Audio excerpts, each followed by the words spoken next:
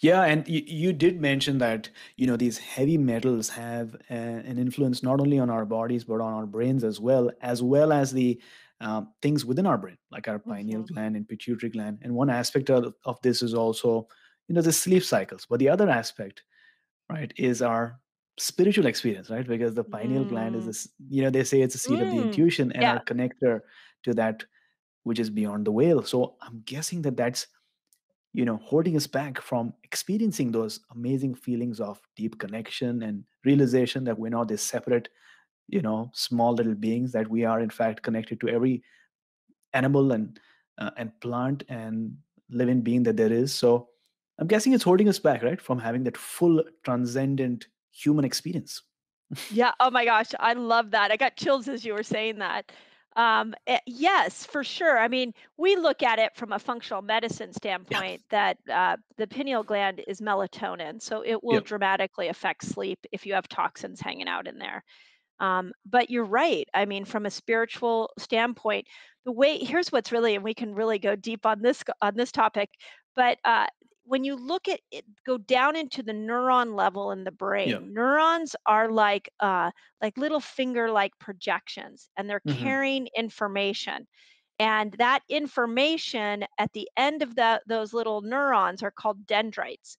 hmm And the dendrites are where the heavy metals hang out.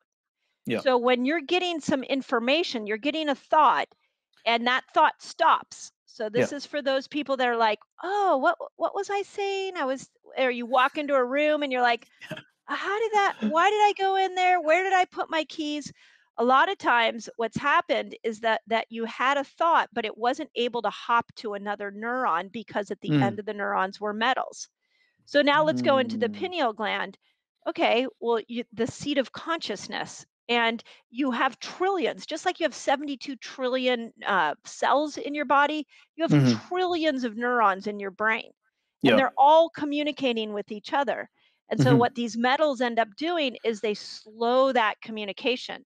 So, Right. inspiration, um, deep thoughts, um, ability to even go into some of these deeper meditative states all of that can be hindered by the presence of metals. You know, firstly, I think I can speak for all everyone listening right now.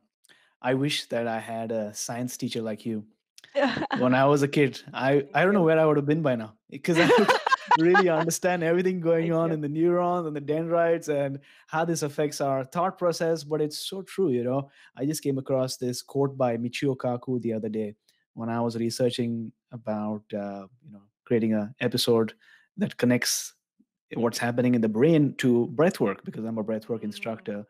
But he said that our brain is the most complicated object in the known universe. Yep. Isn't that crazy? Like we look at Mars and we look at everything happening around, we look at the depth of the ocean, we look out in the sky. But what's in between our ears, that is, as far as we know and understand, the most complicated uh, instrument or thing in the known universe.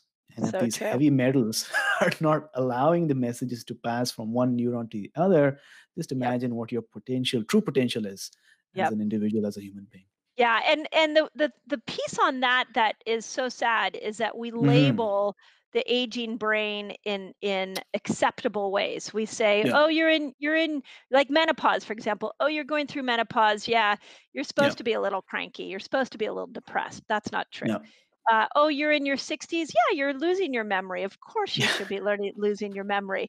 Like Exactly. eh, but the, this is a pliable organism, and it can regenerate. You can like some of the studies I found on fasting Yeah. shows that like a 48 hour fast will reset your dopamine pathways in your brain, and you actually Yeah. will grow new dendrites coming off these neurons that will hmm accelerate the flow of dopamine from one neuron to the next from a 48 hmm hour fast.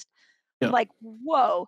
So there is so much that to be discovered about the brain that we have to make a promise to ourselves that hmm we will not accept a diagnosis that limits our potential because Yeah. there's so, the human body was meant to live to 120 it comes with these self repair mechanisms. Those mechanisms didn't leave you at 60 you have another 60 hmm years that you're built to live for It's just that you Mm. haven't been taught how your body is. You're living in this crazy modern world. Yeah. So w- we've got to tap into podcasts like yours where we're bringing the power back in a in a loving way. We're we're looking within and Right. saying we're in control here. We just didn't weren't given the manual on how to use this body.